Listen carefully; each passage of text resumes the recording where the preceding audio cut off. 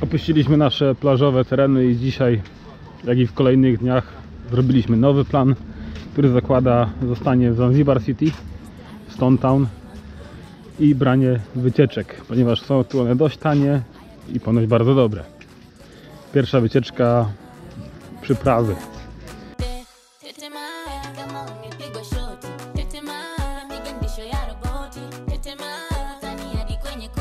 Tetema,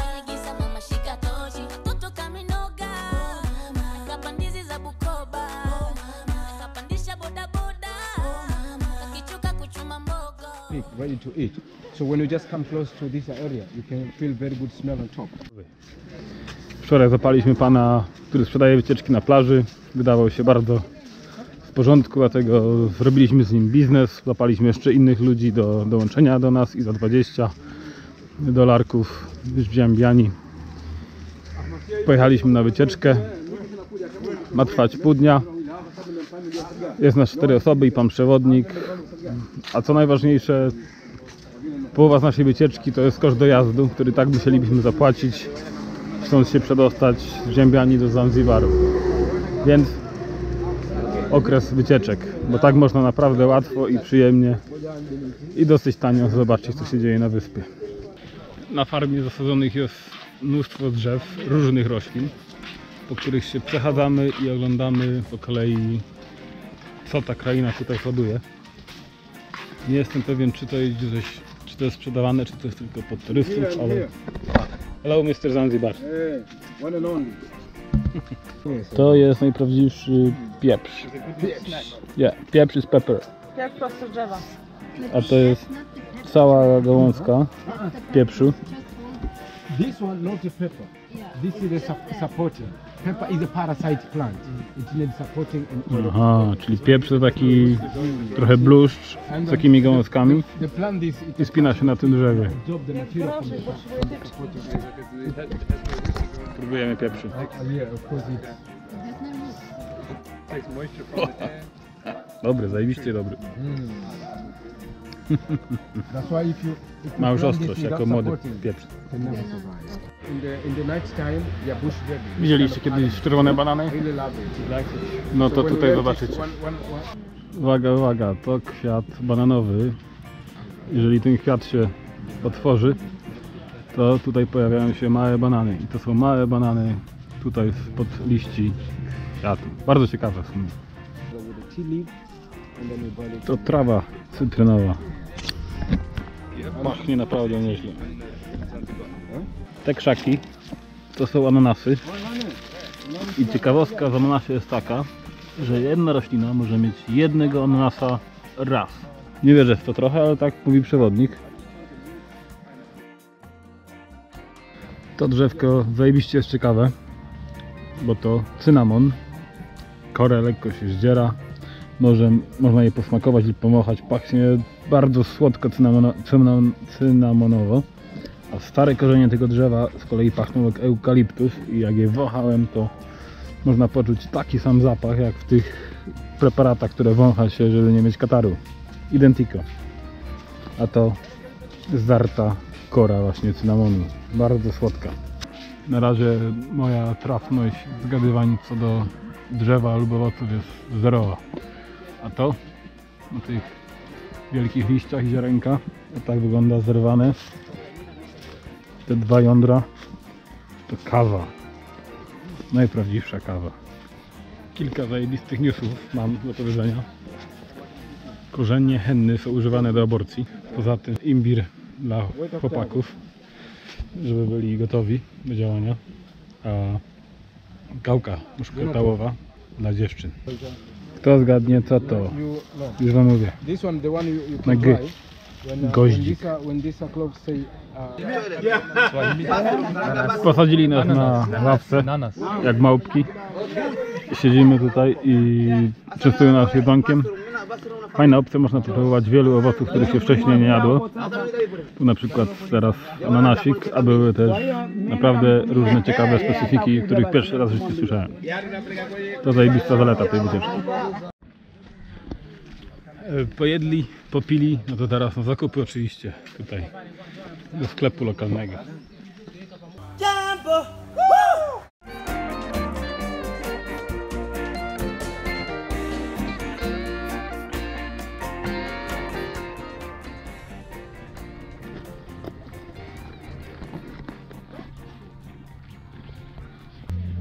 Dzisiaj wybraliśmy się na wycieczkę, która nazywa się Niebieskie Safari. Zostaliśmy tutaj przywiezieni do miejscowości Łęba i z niej wszystko się odbywa. Na razie czekamy już pewnie około godziny, zanim nasza grupa się zbierze. Okej, odprowadzili nas jakieś 300 metrów od brzegu. I tu odbywa się załadunek na łodzie i wyruszamy, ale czekaliśmy godzinę? Więcej, masakra. Twój ludzi na łódce. Po długim oczekiwaniu w końcu udaje nam się wyruszyć. Płyniemy zobaczyć, jak wyglądają pobliskie wysepki i podwodne krainy. Safari Blue to jedna z najbardziej popularnych wycieczek na wyspie. Legendy głoszą, że to wycieczka impreza, z której każdy wraca uśmiechnięty i zadowolony z tego, co widział i przeżył. W cenie wycieczki mamy zapewniony transport w dwie strony Zanzibar City do miejsca wypływu łódek, jedzonko oraz kilka atrakcji na naszej trasie. Pierwszy przystanek to Piaskowa Wyspa. Mimo niepogody i ciasnawej podróży łodzią, tutaj humor się poprawia. Organizatorzy częstują wszystkich ogromem soczystych owoców i lokalną muzyką, integrując przy tym ekipę.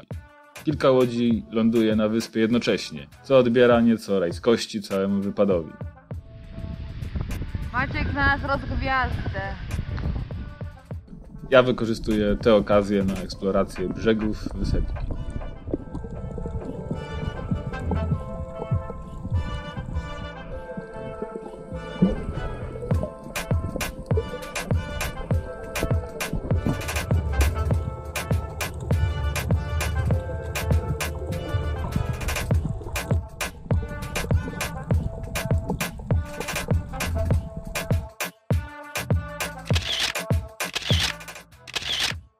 Gdy opuszczamy wyspę, zauważamy, że po chwili znika ona zalana przez wodę.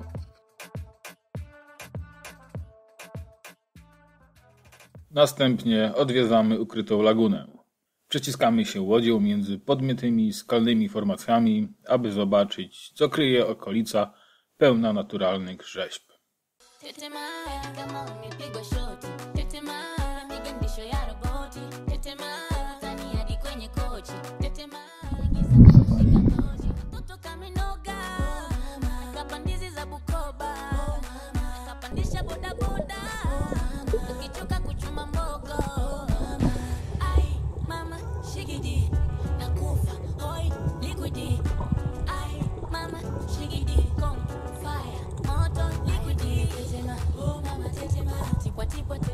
końcowym etapie wycieczki docieramy na jedną z wysp, gdzie znajduje się baza. Tutaj każda ekipa zasiada do stołów i zaczyna się naprawdę syta uczta. Jedzonko to na pewno wielki plus całego wypadu. Oprócz tego na wyspie znajduje się słynne wielkie drzewo oraz kilkanaście straganów.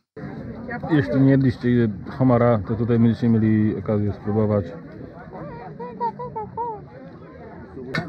Na Zanzibarze spotykamy niesamowicie dużo naszych krajanów. I tak naprawdę dzisiaj na przykład rozkręcają całą imprezę. Tam chłopaki walą wódeczkę z lokalsami. Jest wesoło, o to chodzi. Polacy potrafią się bawić jak nikt inny. Wycieczka zaczęła się koło pewnie 10.30 po bardzo długim czekaniu. Kończy się pewnie po 16. Docieramy do przystani Blue Safari. Myślałem, że to coś naprawdę takiego wow i safari, a to jest zwykła wycieczka po okolicy. E, Oglądanie rybek. Dobry, naprawdę duży wielki obiad, który pewnie wart jest mnóstwo kasy gdzie indziej. Te inne atrakcje takie trochę, żeby coś było do porobienia. Rybki mogą być, no generalnie dobrze zobaczyć. Cena, którą zapłaciliśmy 50 dolarków. 20 osób, które mieliśmy na łódce to dosyć dużo. Jakby tak zmniejszyć to do mniejszej grupy, to naprawdę byłoby z tego coś fajnego. A tak było trochę ciasno i czuliśmy się ściśnięci cały czas. Dobrze, dobrze się trzeba kremem nasmarować. bo Strasznie parzy słonka. Tutaj na Zanzibarze można mieć naprawdę różne hotele. Od łóżek w pokoju wieloosobowym do naprawdę burżujskich komnat. I tak się składa, że jesteśmy w jednej z burżujskich komnat właśnie. Mamy do dyspozycji trzy łóżka. Chcieliśmy jedno, dali nam trzy. Jesteśmy pewnie na może drugim, trzecim piętrze. Mamy widok na miasto. Jest basen w okolicy. Komnaty zaaranżowane bardzo ładnie. Te meble w ogóle to jak w jakimś afrykańskim zamku. To, że tutaj mieszają się różne style, naprawdę zajebista zaleta. Można zobaczyć ciekawe rzeczy. Okej, hotel jest naprawdę wielki. Jakiś, musiał być kiedyś potężny, burżujski dom jakiegoś księcia albo księżniczki arabskiej. Zobaczyć tylko na wystrojenie, na to wyglądają podłogi. Te wszystkie elementy drewniane, okucia. To naprawdę robi wrażenie.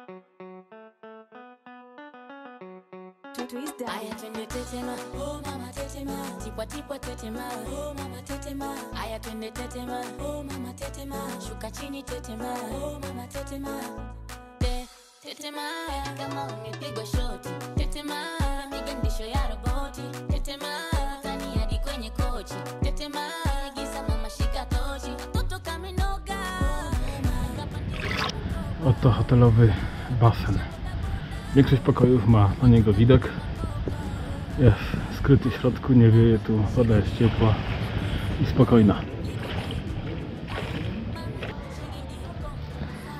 Oglądamy zachodzik słońca dzisiaj z perspektywy balkonu w hoteliku, który jest naprawdę wow.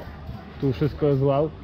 Myślę cena, którą zapłaciliśmy około 70 dolarów za noc, tą ostatnią, nie jest aż taka zła w stosunku do tego co się dostaje, bo opcja hotelowa jak i yy, wliczone śniadanie i do tego baseny jest naprawdę niezła. Centralne położenie tuż przy porcie yy, promów jest bardzo ciekawie.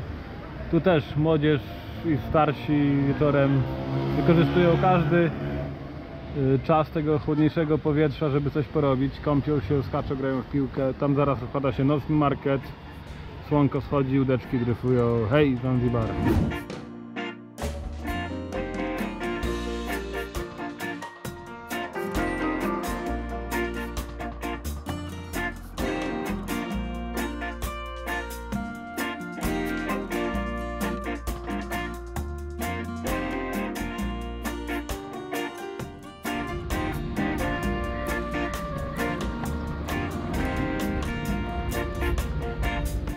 Wdrapałem się na sam szczyt hotelu, największy punkt. Jak zwykle, wschód słońca, gdzieś między chmurami, no i widok na całe miasto.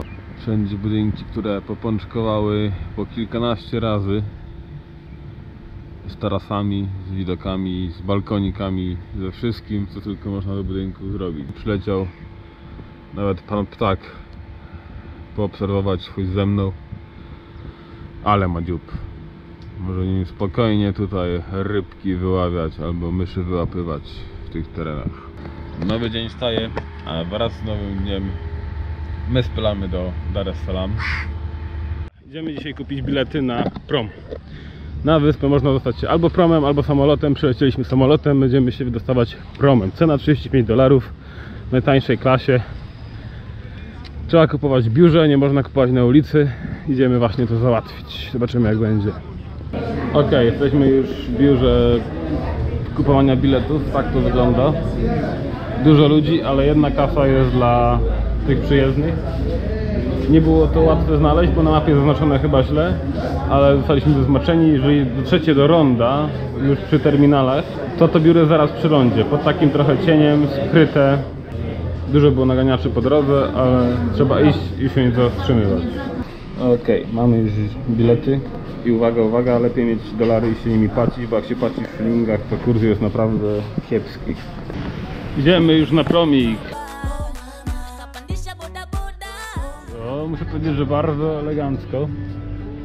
Naprawdę dużo miejsca, fajne, komfortowe siedzenia. Jest klimka, nie ma ścisku. Jedzie się dwie godziny, ale warunki póki co są bardzo dobre.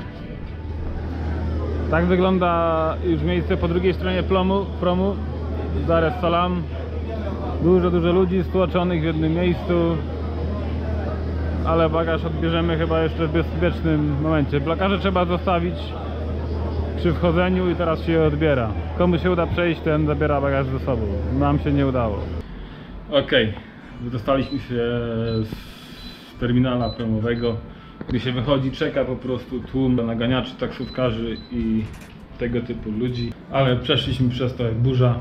Gdy tylko wyrwaliśmy się z tych y, uliczek promowych, to weszliśmy w miasto, które no nie oszałamia.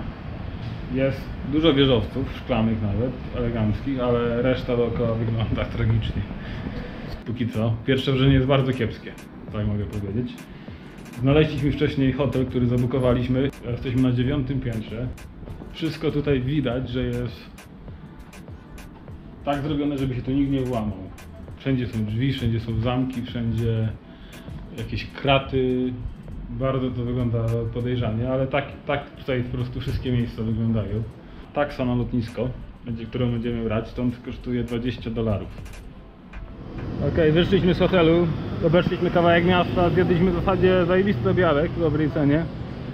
I to muszę powiedzieć, jest na pewno potencjał, tylko trzeba byłoby spędzić trochę czasu, żeby się przyzwyczaić do tych warunków i trochę jakby nabrać ogłady do tego. Może by się przydał jakiś przewodnik, który by nas tu oprowadził, wtedy pewnie byłoby fajniej. Spotkaliśmy pana, który powiedział, że tutaj w więzieniu gdzieś przebywają, przebywa dwójka Polaków. Zostali aresztowani po tym, jak wzięli do kogoś paczkę, którą mieli podać komuś innemu, a ta paczka miała w sobie narkotyki w środku. Nie wiemy na ile to jest prawdziwa historia, na ile to jest... Hello, no thank you. Na ile to jest zmyślona. Pan od razu powiedział, że chce nas tam zawieźć. Do tych, więzienia. do tych Polaków do więzienia, żebyśmy z nimi pogadali. No, z nikim do więzienia nie pojadę. W tak krótkim poznaniu go, więc nie wiem ile prawdy w tej całej opowieści. Ale teraz to sprawdzimy na internecie. A Polakom życzymy wszystkiego najlepszego. Może niedługo wejdą z więzienia. Jest około pierwszej w nocy, jedziemy na lotnisko. Miasto nocą wygląda w sumie najgorzej. Jest cichutko, nikogo na ulicach. A my powoli jedziemy, nie ma ruchu też. No to jesteśmy na lotnisku. Dzisiaj sami jesteśmy naszymi odprawiającami. No dawaj.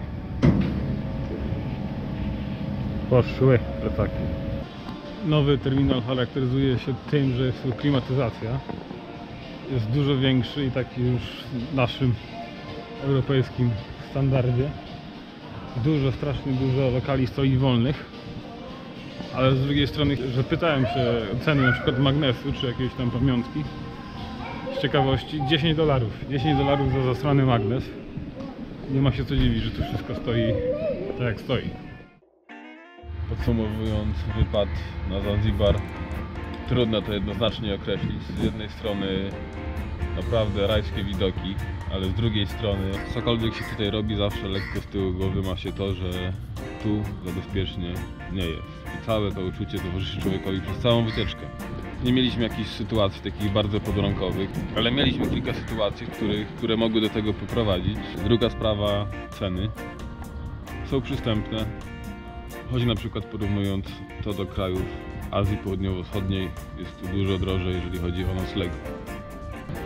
Za Zanzibarem na pewno przemawia ta cała mieszanka kulturowa, która się tu odbywa. Miks co najmniej czterech różnych kultur. Tutaj jest bardzo widoczny i fajnie to zobaczyć na własne oczy.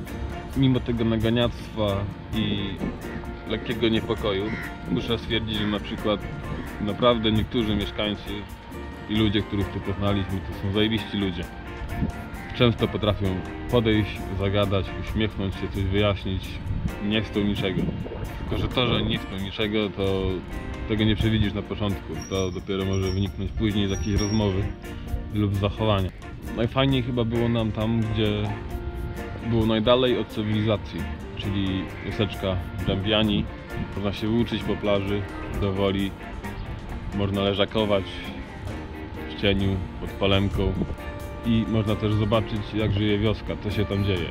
To miejsce było wow.